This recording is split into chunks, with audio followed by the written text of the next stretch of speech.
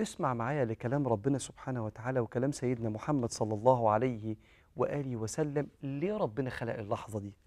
ليه الإنسان بيشهد المراحل دي؟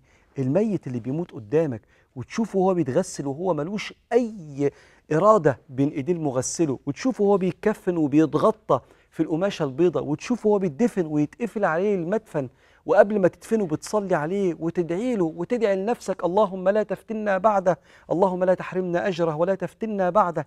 إيه حكاية معاصرة لحظة الفراق؟ ليها حكمة كبيرة. لما تعرفها تعرف تعيش لحظة الفراق إزاي.